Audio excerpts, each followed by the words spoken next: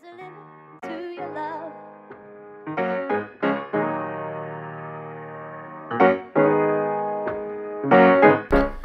Good morning, Royal LePage. James Walker here with another Two Minute Tuesday, which starts now. Um, I've been talking to a couple realtors lately, and they've talked about the success they've had with Facebook Marketplace. Um, as many of you know, we've got lots of inventory out there in this current market, but there's no buyers.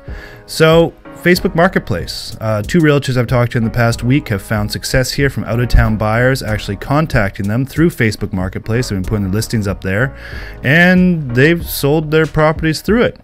Um, I'm more of a Craigslist guy myself. Craigslist is Old Faithful Vancouver, probably dominates the rental uh, listings for sure. And if you're in the east coast of Canada, from Edmonton on pretty much, you prefer Kijiji. Um, Kijiji, I'm not really that uh, uh, educated in, but it's yet another online resource that we can use and we can use to promote our listings. So, Facebook Marketplace, um, you can brand it, you can link it to your business profile.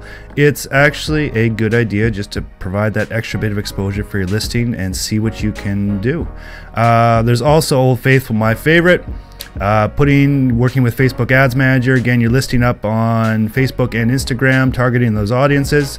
If you want, if you're with Royal LePage West, uh, please book a time with me. I'm meeting with a couple agents this week and next week to do a one-on-one. Takes 30 minutes. Get whatever ad you want up. If you have an open house this weekend, if you have a hot new listing, whatever you want to do, get it up there and let's see what we can do.